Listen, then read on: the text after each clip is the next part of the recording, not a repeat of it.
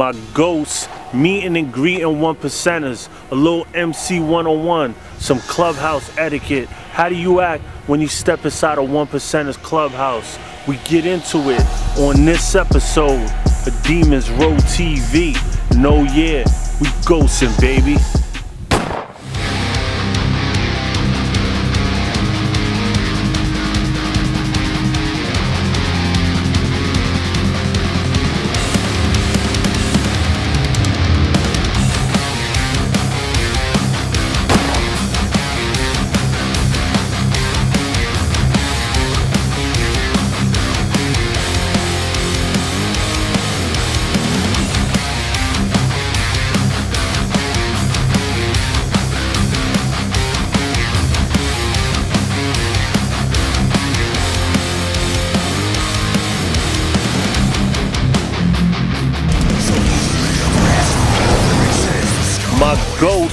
Welcome to Demons Row TV, the holy grail of MC culture, where we cover everything motorcycle club involved. I'm Chopper Sosa, I'm your host for the evening, and today we're gonna talk about meeting and greeting one percenters.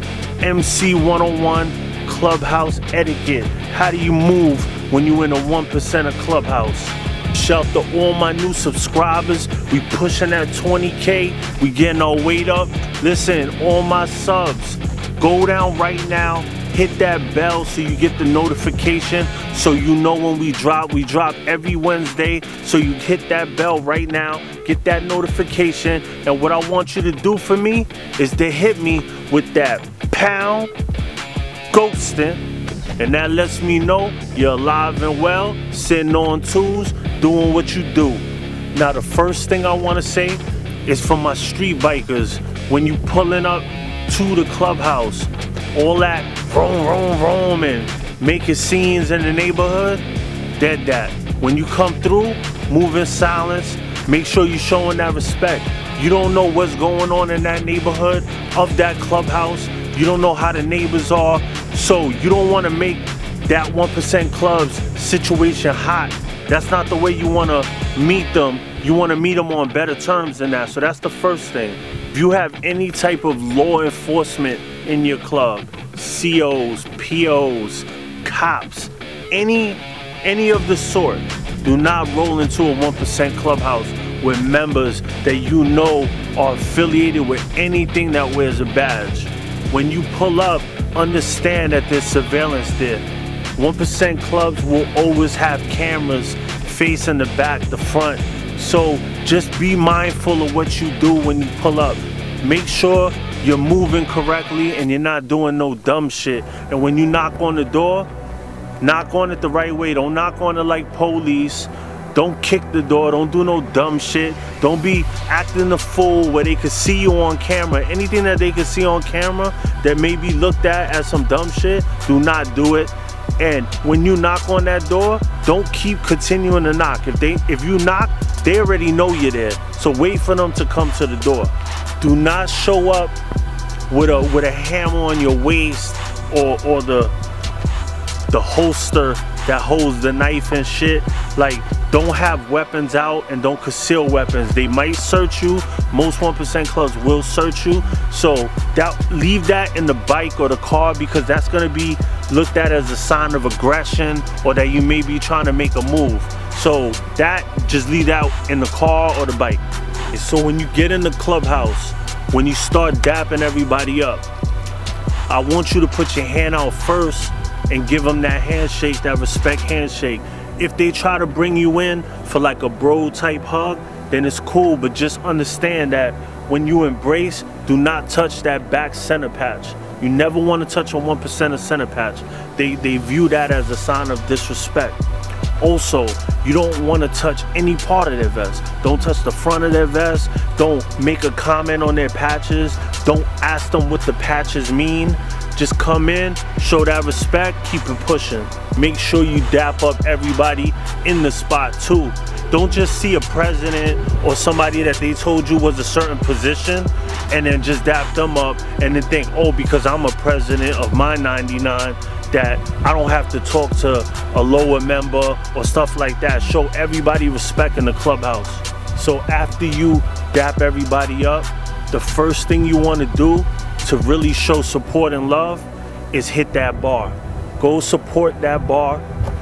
Any 1% is gonna love that because that bread, you know that goes to the house. So you always wanna support that bar.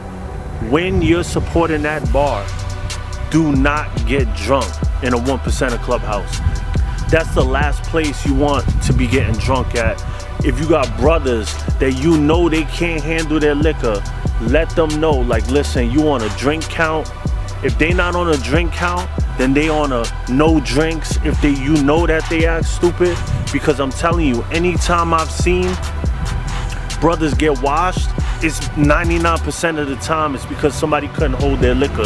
So always protect your brothers and also know if you that brother that's drinking too much and you know that you don't know how to act when you drink, think about your sisters, think about your wifey, think about your social club, think about all of that when you're out at the spot. And if you get drunk, you're gonna get you're gonna get your family caught up in a bad situation.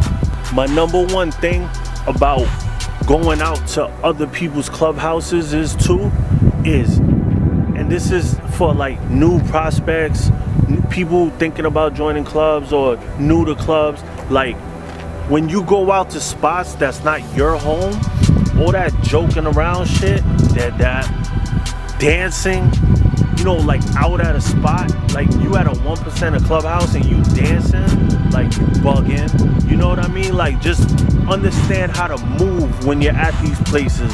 Be serious. If you know people like that, then it's fine. But if you just going into the spot and you just showing them love and they're not really a team that you rock with like that, you want to go over there on some serious shit, not joking around. If you see two outlaws talking, you never want to get in the midst of their conversation. You never even want to look like you're close enough to hear what they're saying. You never know what they're talking about. You never know if it's going to start turning into a situation like just never interrupt. Wait for them to finish and then you come over. And even if you see two of the same club talking, never interrupt. If you see that they like their conversation may have some tense type vibe to it. You don't ever want to always keep an eye on what's going on and go by vibe. I'm big on vibes. Like you got to go off the vibrations in the room. If you feel like there's a energy that's a little bit off, don't come over, you know, with your dumb ass joking around or whatever when some serious shit that they might be talking about is going down. Just stay on point. Now, at these spots, you might see some beautiful women. You do not a one percenters clubhouse is not the place for you to be thinking about hooking up. You get caught in a bad situation. Don't talk to no old ladies. I got a show on it. I'll link it down right now. 1% of old ladies, I break down everything about old ladies. Listen, stay away from the old ladies. You get hurt.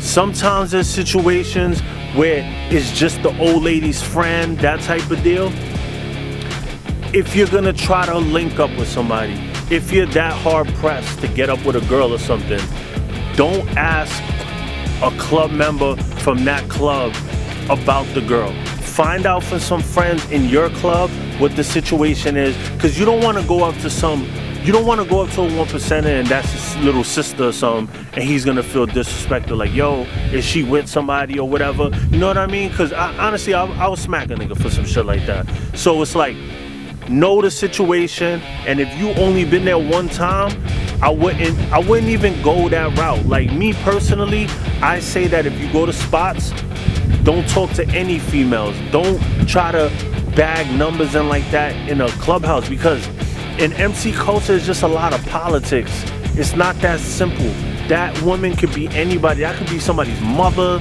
you don't know what the situation is. So I would just stay away from the females in the MC culture. Catch them somewhere else when you're not doing the MC shit. Now I know y'all love taking pictures. In this era, we got the greatest cameras in the world so we could just take the dopest pictures. When you're at a 1% of Clubhouse, you don't want to just pull out your phone and be taking selfies. You got to have a presence of mind of what kind of cuts or in the back when you throw that selfie up. If you got the wrong one percenter, you know, if you showing the one percenters cut in the picture, they're gonna approach you. You never know if that one percenter grabs your phone and breaks it. You don't know the situation. And I'm not saying it's always like this. Some 1% clubs will take your phone and you gotta check it in when you get in there. You know what I'm saying? So you don't wanna get caught with the picture shit. Ask it the best way to do it is ask one of the brothers, listen, do you have any problems if I take a picture or whatever?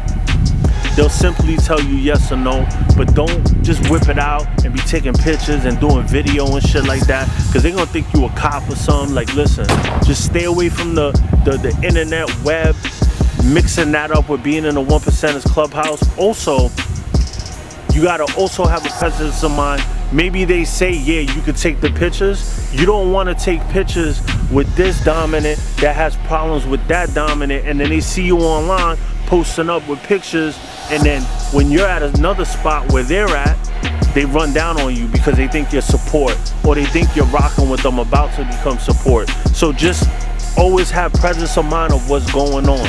Another thing i want you to have presence of mind of is you'll have all right like let's say you're in a 99 and you got your president your vice president sergeant arms all that like and then you see a prospect in that 1% club.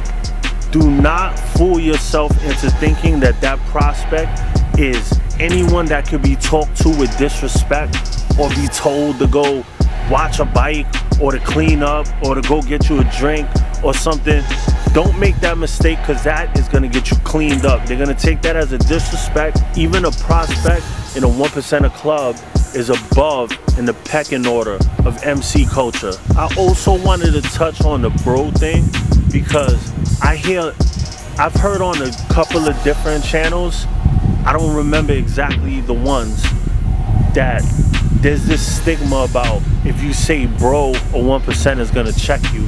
And I feel that that's a falsehood. I've never heard a one percenter say, yo, don't call me bro or whatever. Like I see people put up little comments on the web about that type of shit. But it's not the type of thing that like if you see a one percent and you be like, yo, what up, bro, or whatever, that they gonna disrespect you or whatever. One percenters are all about respect. So they don't just disrespect people for dumb shit. Now if you overdoing it, then yeah, of course they will say something. If you're just like, yo, what up, bro, and you give them some love or whatever, I, I really don't know too many one percenters that are gonna really tell you like, oh, you ain't my bro, like don't call me that or whatever. Like I never heard nobody say that before. And there's been a ton of dudes that run up on me, yo, what up, bro? And I'm I'm a different type of nigga though. I don't get pumped up by any type of title or anything like that. But you got some brothers that will use that as leverage. Any questions you got on anything involving one percenter, clubhouses, and protocol, just hit me in the comments. Let me know what you guys think about what I said. I'm always trying to give game on the channel. Cop the Demons Row merch if you want to support. We always have the merch shelf under every video. And a couple of people have asked me, if you wear the Demons Row merch, will you get into problems anywhere? I'm gonna tell you first things first, it's just a motorcycle shirt. It's not attached to any club. It comes in all colors, so if you're in a certain town and they rock a certain color, the options are there to get different colors. You know what I mean? We had the female stuff, the babies, all that. So thank you for tuning in to Demons Row TV, the holy grail of MC culture. No, yeah, we ghosting, baby.